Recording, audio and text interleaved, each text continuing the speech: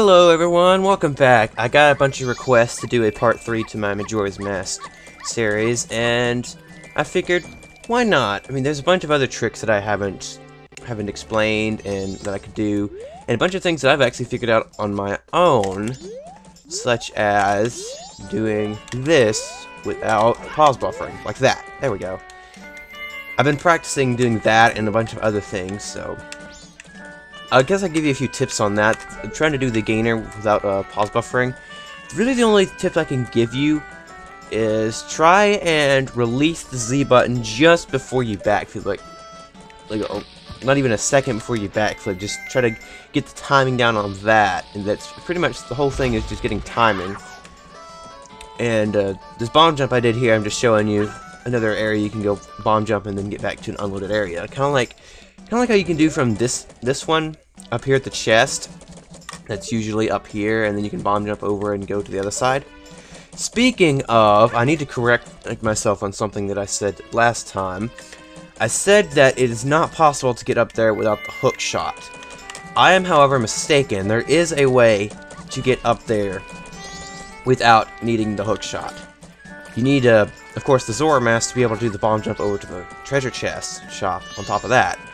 But you don't need the hook shot to get to the chest. It's a little bit of a longer route. But basically what you need to do is get to the very edge of this platform and aim for this awning right here. Right here at the bottom. Now, you can use a bomb, any, any kind of explosive, but I personally prefer using the blast mask. I just, I don't know why, I just, it just seems cool to do it that way. And I messed up, of course. Basically what you're trying to do here is a trick called the recoil flip, which if you're familiar with hovering, this is basically the same principle. You're doing the same thing you do to hover, except that you're not using, not activating the infinite sword glitch, and in uh, in consequence, you're not actually sticking in the air, but you're getting a huge boost backwards instead. So, I'm going to get to the very edge of this platform, aim for that awning, turn around, Blast mask, boom, there we go, make it to there. Now, now you pull out the Zora mask, I can get over to it. There we go. And then, as a Zora Mask, you roll jump to here. And then aim for that awning, roll jump, and then jump attack. And you should make it to there, and then just make it to the platform, and bam. Then you can just do the bomb jump, uh, jump, bomb jump over, and you're there. So I just wanted to correct myself on that. Now, the next thing I want to explain.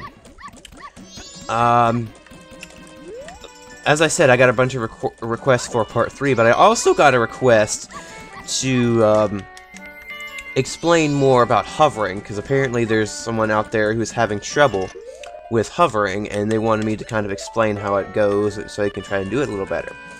So, I'm going to use this sign as an example. To get an infinite sword glitch off the sign. I'm to go up here to the top of the clock tower just to kind of get an or actually, I think that messed me up. Yes, it did. Okay. Never, never mind. I'm not going to use the tower. Okay. So, after I get the infinite sword glitch, one thing about bomb hovering is that you need to do it off of a ledge.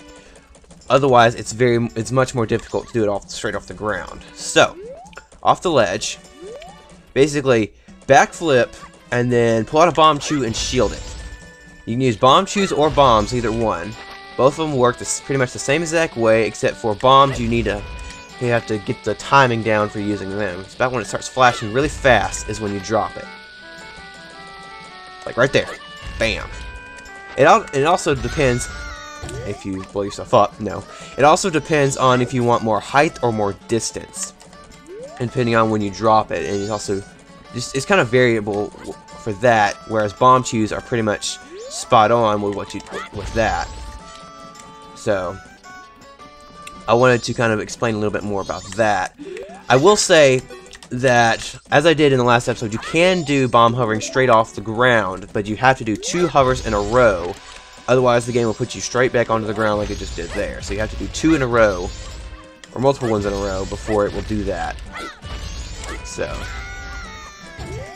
that's it for that. The other thing I could show you guys is Ikana Canyon. I remember if you, if you remember, back in one of the parts, I forget exactly which one it was, But I was talking about the uh, the beneath the well and getting to the mirror shield. I was trying to hover over that huge sunblock and get into the get to the mirror shield early. Well, it turns out there's actually a different glitch you can use to go under the sunblock and get and get into there. So, I will go ahead and go do that right now and show you what trick that's called and all that. So, pretty much from the from the uh, moment you get here at Ikana, you can go get the mirror shields. You don't have to you don't if you have uh, the the well is if you remember that. It's really annoying to have to go get all of the uh, things for that. But if you just do a gainer right here with the Zora mask, if I can do it. There we go. And then just go over here. Now the trick I'm going to be showing you guys is a very complicated trick. And if you don't do it right, your game can crash, depending on what version of the game you're using. So I'm going to get down here and then I'm going to explain. I'm going to be doing a glitch called the Weird Shot. Now, like as I said, the Weird Shot varies between the versions of the game that you're playing. If you're playing on the Japanese version, the uh, weird shots are a lot more lenient, but on the I'm playing on the American version at the moment, and the American version is very finicky about its weird shots. So basically, here's what I'm going to do. I'm going to put a bomb there, shield the hook shot, and then roll this bomb at the precise moment and hold left. And then pause buffer to a specific frame. I think I rolled too early. Yep, I rolled too early. Okay. So, try this again. Okay, now, pause buffer to a specific frame. I still rolled too early, dang it. I'll explain this a little bit better in a second. If I can, once I once I do it, I'll explain it a little bit better. Okay, now I believe I got it. Pause buffer to the next frame. Nope, I still rolled too early. Dang it. Come on. Oh, I, I messed that up. Definitely. So basically, okay, so I'll try to explain a little bit here since I'm kind of failing. I rolled too late there, I think. Nope, I think I got it. Okay. Pause buffer to the frame where you see the red exploding damage effect. If I can get it. Come on. That one right there. Now, I'm gonna pause buffer the hook shot. And then one more frame, and then release. And BAM! We are under the ground. This is the weird shot, basically, right here. So, and then you can just hook shot the torch, like so. Come on. There we go. And you're in. And then all you need to do is fire arrows and Deku stick, or you could fire all, all of them if you want, but it's just faster. Fire arrow and Deku stick. Light all the torches, and bam, you have the mirror shield. So, if the well's giving you all sorts of all sorts of issues, that's all you need to do. Okay, so I'm gonna go back and I'm gonna show, kind of explain what the, more what the trick does and how you set it up because I didn't do a very good job of explaining that. So give me a second, and I will be back behind the sunblock.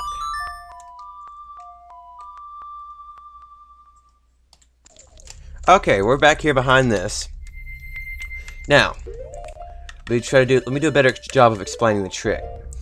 So, I get over here in this corner, and you need to hold Z target pretty much through the entire thing. Drop a bomb behind you, pull out the hookshot and shield it before the animation comes. This is very, very, it's a very fast trick, so I'll try to explain it a little bit as I go through. Alright, so what I just did there, let me kind of explain a little bit, pause here and explain. I went into the corner, and I held the Z, pretty much have to hold Z through the entire trick, and then I dropped a bomb behind me. Since you have to hold Z, and then you have to go behind the bomb a little bit, I just go ahead and kill two birds with one stone and backflip and drop the bomb in midair. So that puts me a little bit behind the bomb, and so you need to go a little bit to the side of the bomb so you can see how the bomb is flashing so you know when to roll at it.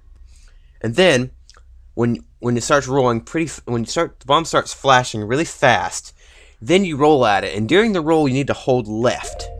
And then during that roll, I think I rolled a little bit I rolled too early there. During your roll, you need to hold left. This is very important. Hold left, and then after, during your roll, you need to pause buffer to the specific frame where you see the red exploding damage effect on Link. I think it's the very next frame. If I can get one more frame. Nope, one more. One more. One more. Right here.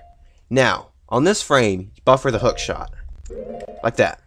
And then you need to buffer one or two more frames. I'll do two this time. I did one last time.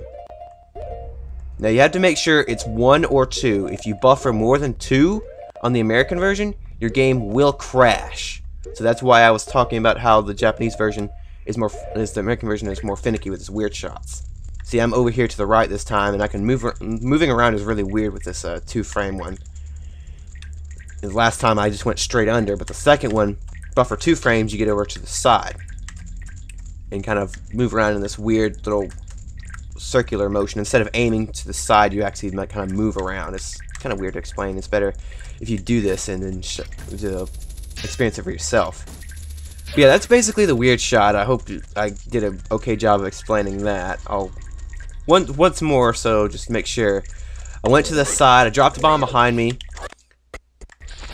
Up, oh, that's not it. Went to the side, dropped a bomb behind me, shielded the hook shot, rolled, held left, paused buffer to the, the red exploding frame, and then buffered the hook shot, and buffered one more frame. If, I'll uh, link to the article in the description for so you, so you can get a better explanation of what I did there.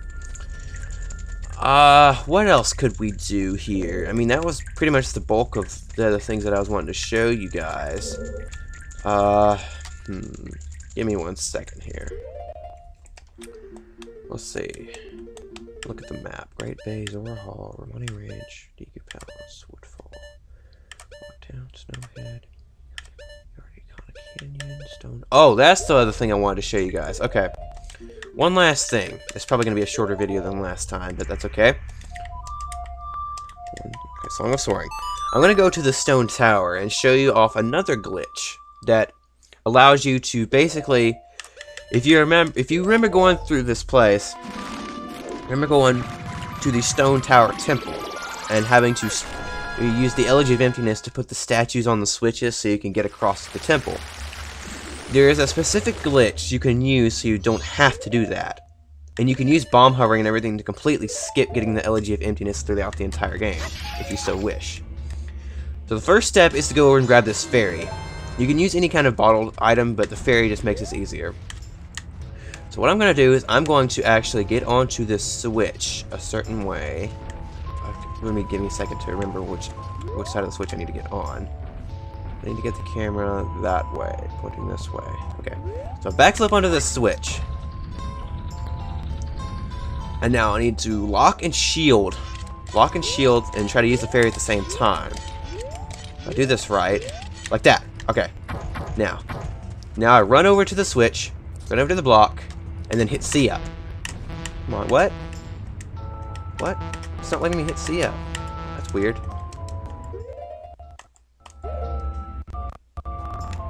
This is very weird. I know this glitch was weird, but usually when you hit C up, it cancels it. Um, did I break something? I think I broke something. Uh, okay, let's do this. Do it this way then. Let's fall. Let's fall to our death and respawn. That'll give us another shot at this. Okay. I still have the fairy too, so we can do that. Alright. Let's try this again. This time, preferably without failure.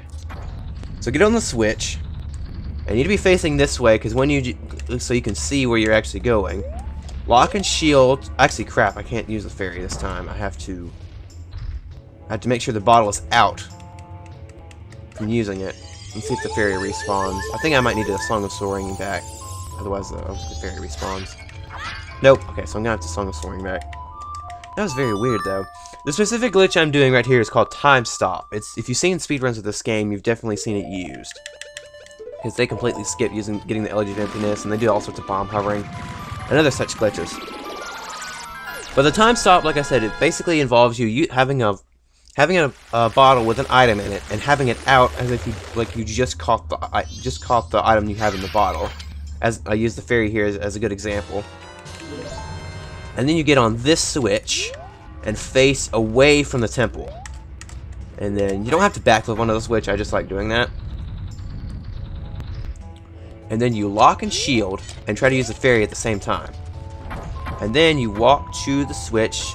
What's weird about this is your controls are actually reversed. It's doing it again. I can't hit C up. That's very strange. Can't hit any other buttons. I can I Zoramask? No. Can I Ocarina? Can't use... Doesn't let me use any kind of buttons. I've done this before. Okay, I think I know what's going on. Okay. So, let me get down and respawn.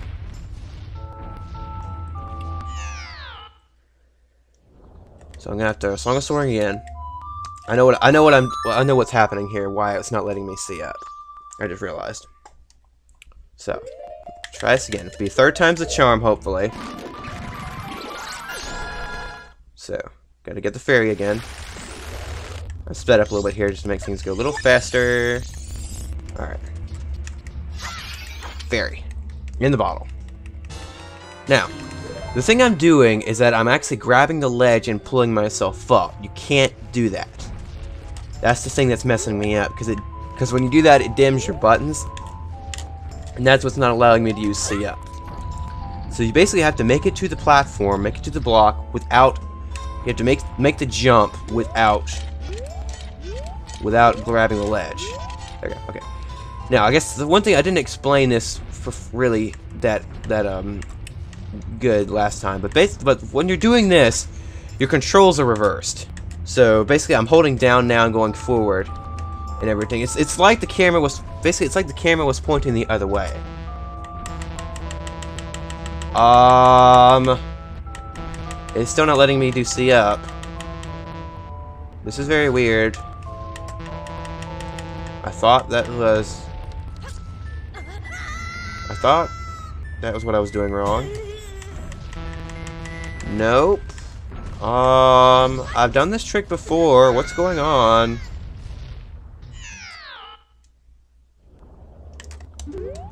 Um... Hmm. I don't know what's going on here.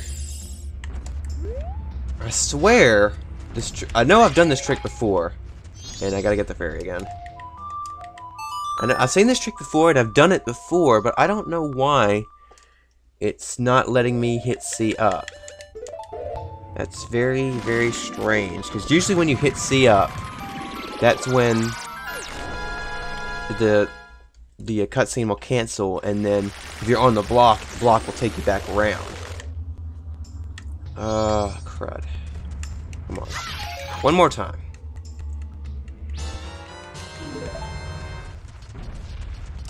Right, onto here.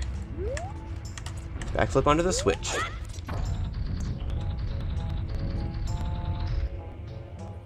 Lock and shield, and then fairy. Okay.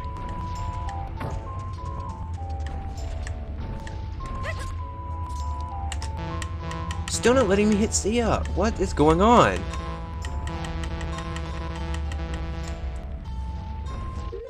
It's not letting me use anything. I mean, I can pause and unpause.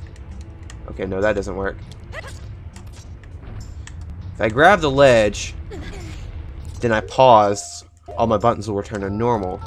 But it still doesn't mean I can use them. C up isn't isn't used. I can't. I can shield, but locking, but uh, locking doesn't. Z targeting doesn't do anything except make my A button spaz out like crazy. That's all that's doing. And I can roll. I can't backflip or side hop, it doesn't look like. Up, and then I jumped off. That's just very weird that it's doing being doing weird stuff like this. I could have sworn that it would work right. Either way, that's what time stop's supposed what time stop's supposed to do. Like I said, it's like I was trying to explain. Is you do that and you get on top of the block and hit C up, and it should cancel the time stop, and then you'll be riding the block back to the other side, and you'll be on the other side, no problem. I don't know why it's not allowing me to use C up, though. That's very, very strange. Um, anyway. I guess that does it for this uh, part of uh, Majora's Mask. Uh, shenanigans, I guess, is a better title for this. Thought of this the other day. I mean, messing around on Majora's Mask, that's okay title, but I think, I think Majora's Mask Shenanigans, that's a better word, Shenanigans is a cool word anyway. So, I guess um, I'll sign off here. I don't have any plans to do a fourth a fourth part. I pretty much covered everything that I could possibly cover. If you need any more information, like I said, I'll be putting. There's a link in the description. I will be putting a uh, link to a uh, article about the weird shot, and you can also look up other tricks as well, like the gainer and the uh, time stop as well there, and infinite sword glitch and all that. So, I guess I'll sign off here, and I will see you guys next time, probably in Minecraft. That's what I'm doing right now. I'm not sure what I'll do next. But I'll see you guys then. Bye now.